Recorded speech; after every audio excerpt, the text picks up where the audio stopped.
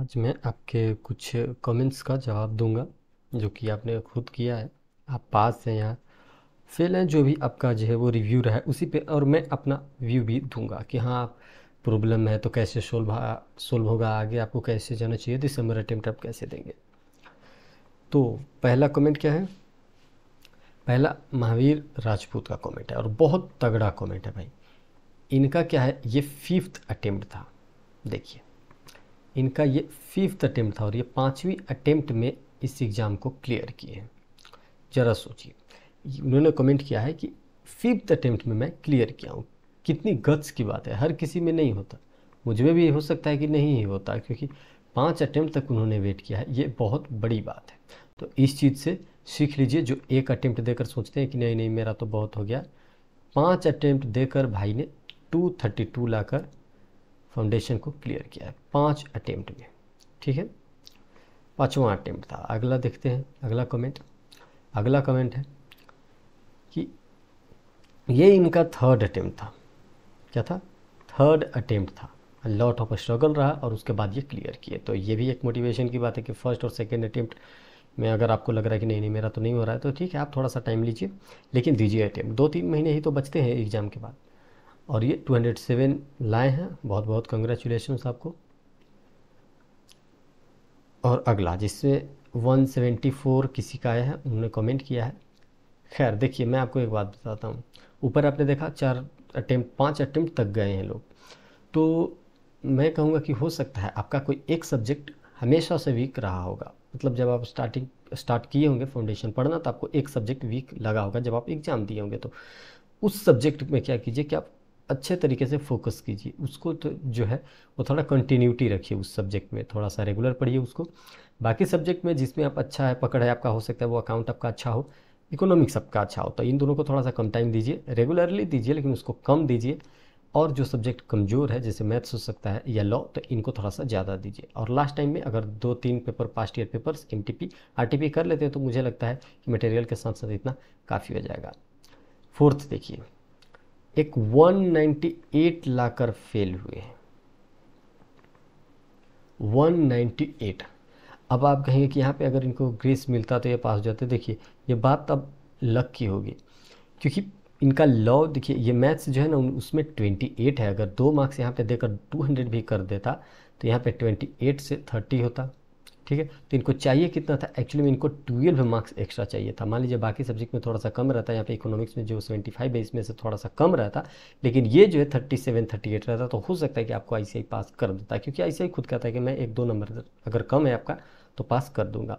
But no problem 198 लाए। आपको मैं एक बात कहना चाहूँगा कि आपका पूरा सिलेबस जो है, मैं मानता हूँ मेजोरिटी ऑफ़ पोर्सन आपका कंप्लीट है। सबसे बड़ी बात, आपका मेजोरिटी ऑफ़ सिलेबस कंप्लीट है तो आप क्या करें?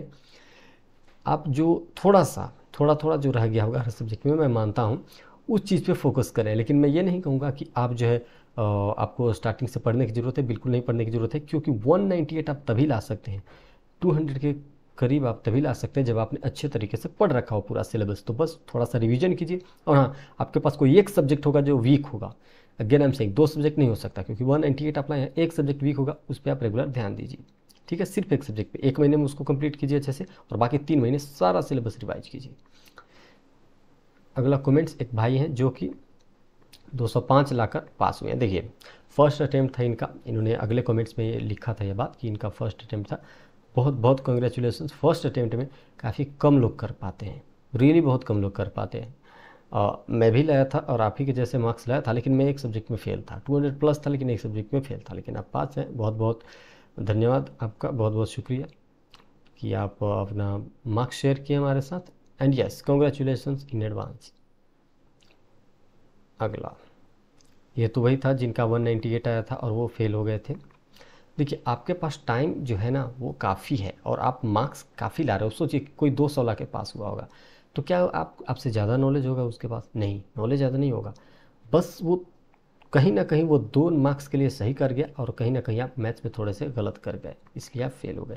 तो अगली बार आपके पास टाइम भी है, सब कुछ है और एफर्ट कम ही लगाना है। कितना? दो मार्क्स के लिए भी एफर्ट अगर आप लगा दें, ये जो मैथ अट्ठाईस है, इसको कैसे भी चालीस कर दें, अगला अटेम्प्ट में आप थोड़ा सा एफर्ट लगाकर तो आप पास हो जाएँगे। तो थोड़ी सी एफर्ट चाहिए, आप पास हैं।